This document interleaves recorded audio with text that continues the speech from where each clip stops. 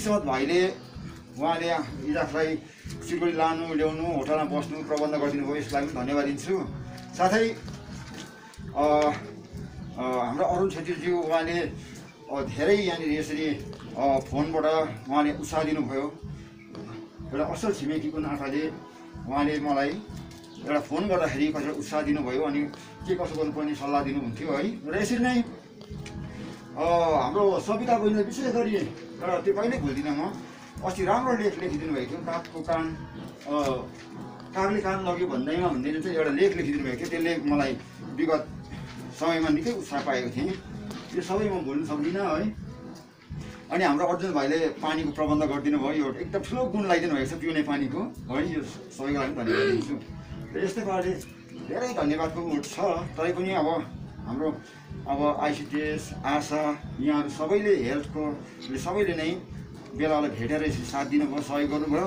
यो सबैको लागि तपाईँलाई धन्यवाद दिन्छु है। र अब मेरो त अब आउने दिनहरूमा चाहिँ तपाईँले अलिकति भनिदिनु पनि पर्छ बोलिदिनु पर्छ। अब त्यो घरमा त्यो दोकानमा डराउनु पर्दैन है भनेर तपाईँले बताइदिनु सक्नुपर्छ। किनकि मैले फेरि अब नयाँ सामानहरू हाल्नु पऱ्यो हाम्रो गरिखाने बाटो यही छ। र त्यसले गर्दाखेरि अब जे जे सामानहरू हाल्नुपर्छ यसै आउने दिनहरूमा त्यो सबै सोचिरहेको छु। र यो सबै कुरो लागि तपाईँलाई फेरि पनि हाम्रो समाजलाई अनि के भन्छ एसएसजी ग्रुपलाई सबैलाई धन्यवाद दिँदै म यही नै राख्न चाहन्छु।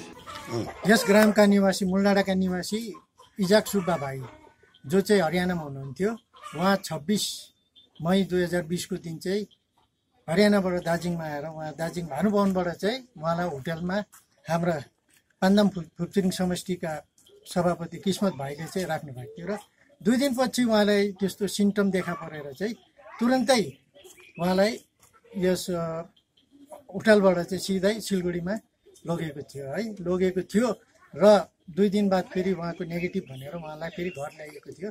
घर ल्याए पश्चात फेरि चार दिन बाद उहाँलाई पोजिटिभ रहेछ भनेर लगेको थियो र त्यसरी नै फेरि तिन दिन बाद उहाँलाई फर्कायो है। र फर्काएर उहाँ निको भएर र त्यसरी नै उहाँको आमा बाउलाई पनि यहाँनिर टेस्ट गराउनु जाँदाखेरि बिस दिनको चाहिँ उहाँलाई क्वारेन्टाइनमा होम क्वारेन्टाइनमा बसिदिने डक्टरद्वारा लिखित रूपमा दिनुभएको थियो र उहाँहरू पनि होम क्वारेन्टाइनमा बस्यो। र आज उहाँ आज आइतबार अठाइस तारिकको दिन अठाइस दिन उहाँहरू चाहिँ होम क्वारेन्टाइनमा बसेर चाहिँ आज चाहिँ समाज सृष्टि परिवार समाज मूलडाँडाद्वाराद्वारा चाहिँ उहाँहरूलाई चाहिँ हामीले आज साथै हामीसँग एएनएम आशा आइसिडिएसको कर्मीहरू पनि थियो र उहाँहरूको उपस्थितिमा नै उहाँहरूले सर्टिफिकेट दिएर उहाँहरूलाई चाहिँ आजदेखि निका होम क्वारेन्टाइनबाट निकालेको छ। साथै फेरि उहाँलाई बेसी बजारतिर एक हप्तासँग नघुमिदिने भनेर बताएको छ।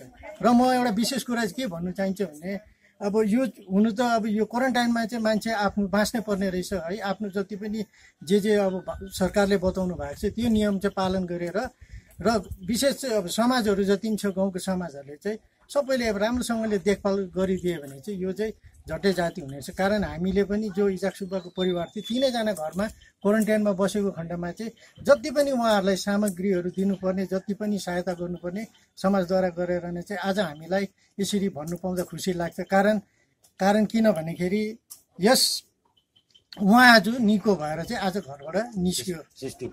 यो र यस- यति भन्दै मेरो छोटो यिनी समाप्त गर्न चाहन्छु। धन्यवाद।